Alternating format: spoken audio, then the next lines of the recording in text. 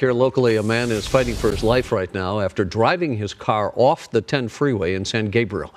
Firefighters say somehow the man lost control on the 10 eastbound. This is at the off ramp at New Avenue. Happened about 1:45 this morning. Officials say the vehicle flew over the embankment, crashed onto the surface streets below upside down, and then caught fire. Witnesses pulled the man out of that burning car. He was then rushed over to a local hospital in critical condition. Still unknown at this point why he lost control. And new now.